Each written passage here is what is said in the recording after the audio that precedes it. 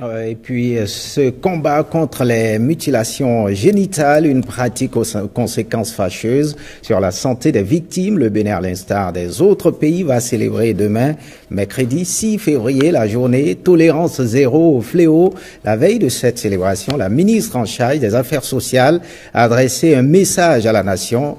En voici la substance au micro de Rolly Sauton et Patrick Benou. Les mutilations génitales féminines sont un ensemble d'interventions qui visent à enlever tout ou une partie de l'appareil génital de la fille ou de la femme. Celle pratiquée au Bénin est l'excision. Depuis environ un quart de siècle, le Bénin lutte pour l'abandon de ces pratiques. Dans ce sens, on peut se réjouir déjà du fait que le gouvernement mène des actions pour amener les populations à abandonner cette pratique.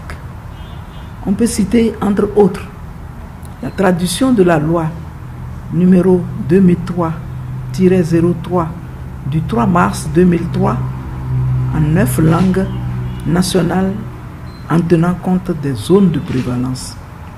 L'organisation de séances de sensibilisation itinérantes le long des frontières avec les pays limitrophes la formation des acteurs de lutte contre la pratique, le vote de la loi portant prévention et répression des violences faites aux femmes.